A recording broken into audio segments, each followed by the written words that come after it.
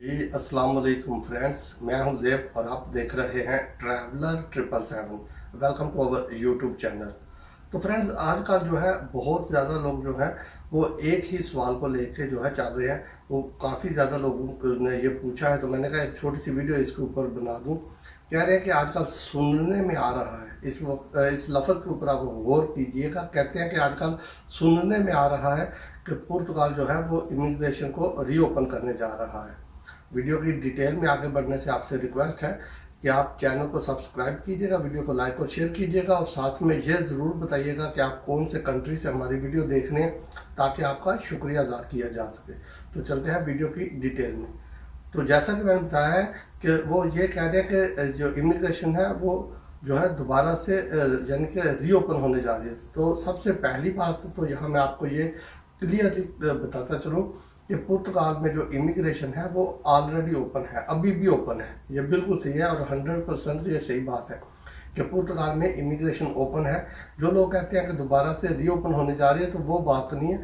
पुर्तगाल की जो इमिग्रेशन है, उसमें आर्टिकल 88 और 89 को जो है, वो अभी स्टॉप किया गया है।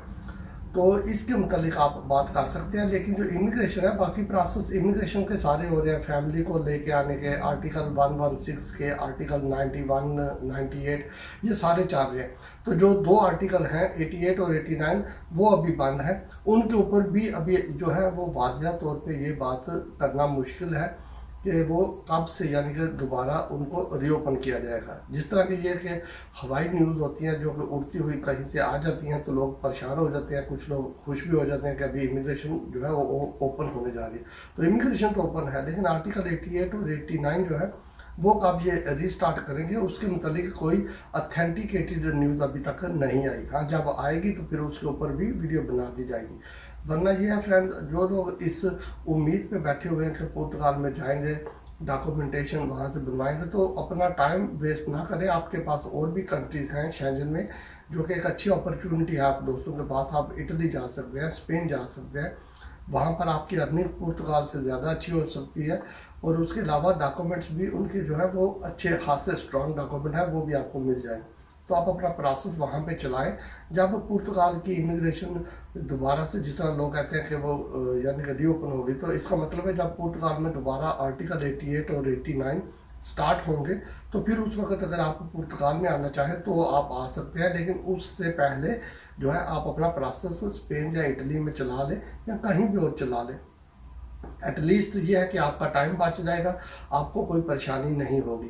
क्योंकि अगर चले लेट्स सपोज़ के लोग कहते हैं कि नेक्स्ट ईयर यानी कि 2025 में जो है वो इसको रीस्टार्ट कर देंगे आर्टिकल 88 और 89 को।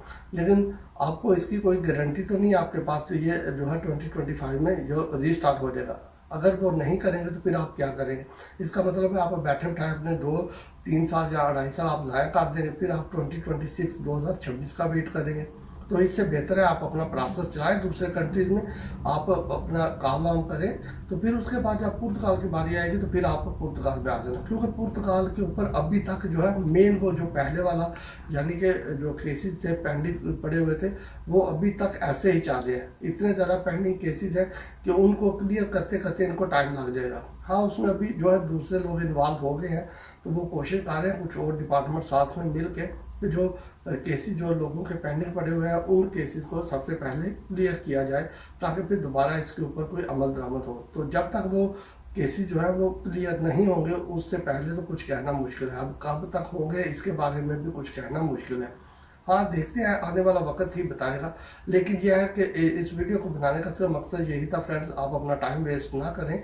पुर्तगाल के चक्कर में कहीं भी आप जो है, आपको अगर कोई चांस मिलता है तो आप डॉक्यूमेंटेशन का प्रोसेस स्टार्ट कर दें।